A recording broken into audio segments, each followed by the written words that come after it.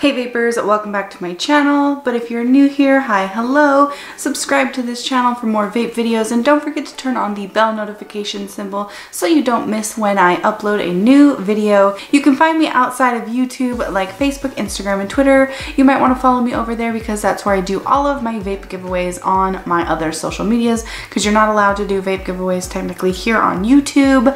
I also chat with you guys daily on Twitter and I like to post on Instagram story all day, every day day of like my normal life stuff, like whatever I'm doing in the day. I love Instagram story, I'm addicted to it.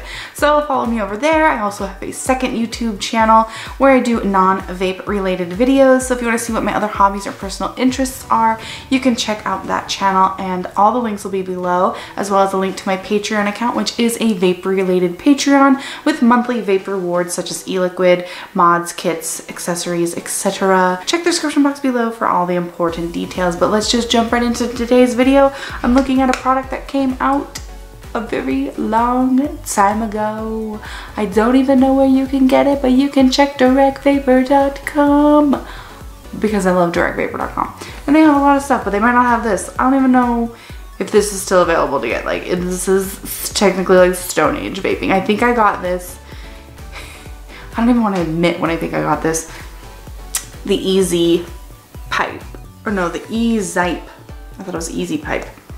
The EZipe by Fumytech, whoever Fumytech is. But I just was looking on my shelf of things to review and this looked very interesting. You can see it looks like a lighter. I think that's pretty cool. So we're gonna open it up and check it out. And oh my gosh. I know there's other versions of like these clickable like lighter looking vapes which are weird to me but also this is kind of cool so here it is. I like that. There's the micro USB charge port. You can see this is would be a viewing window for e-liquid but you have to put a cartridge in. There is nothing in there right now. This is the fire button and the mouthpiece. So this is the Fumi Tridge. Instead of cartridge they tried to make it sound funny.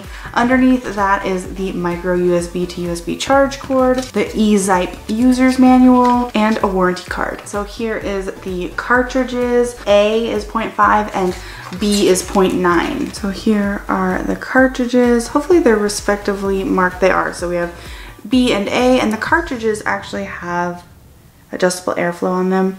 Like I said, this thing probably came out years ago, but I had, I had, it was just on my shelf. It is 67.5 millimeters tall by 45.6 millimeters this way and 20.6 millimeters this way. These cartridges hold two mils of e-liquid and it has a 1300 milliamp hour battery in it. And the resistance range that you can have in here is 0.1 ohm to 3 ohms. So I'm going to try the Fumytridge B, so cartridge B. And to fill it up, you just unscrew the airflow base and you fill it upside down. So I am filling it up today with my Cloud Kiss flavor. This is my flavor available at bonsaivapor.com. It is a strawberry cake batter flavor and it is available in 100 ml bottles, 70% vegetable glycerin, 30% propylene glycol blends, available in 036 and 12 milligrams nicotine. And you can use my coupon code TIA20 for 20% off that flavor at bonsaivapor.com or any other flavor that Bonsai Vapor offers actually. So we'll just unclick this and we'll unscrew the mouthpiece. It's pretty simple, like how to use this. We'll slide that, oops, is that upside down? No, okay. Slide that in there, then we'll push the cap back on, and she's ready to go.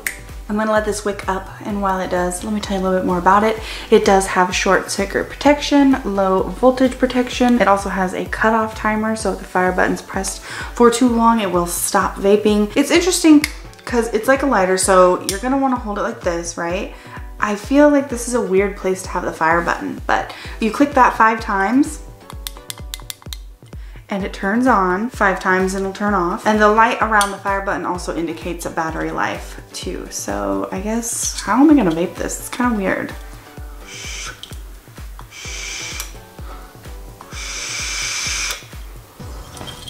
You know what, it doesn't, it doesn't, it's not too weird, I guess. I guess it's just a little obnoxious with that.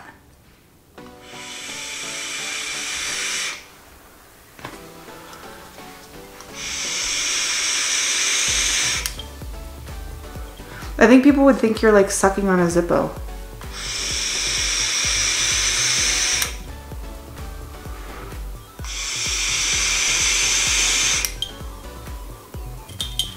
It's very clinky and clicky and just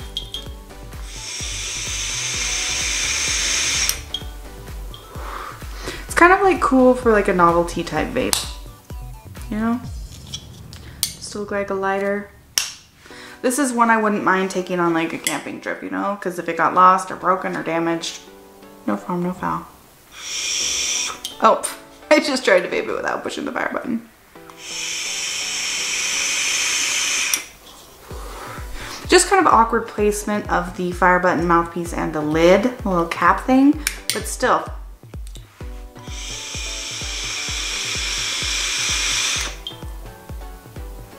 Flavors coming through okay. I do enjoy the vape I'm getting from it, like the, the amount of cloud, the inhale process. Um, I, I have, I can't stop making this noise. I have had my flavor come through way more prominently in other vapes. And I can't really decide how I'd want to hold this. Okay, you can't flick it open like that, but you can flick it open with your thumb.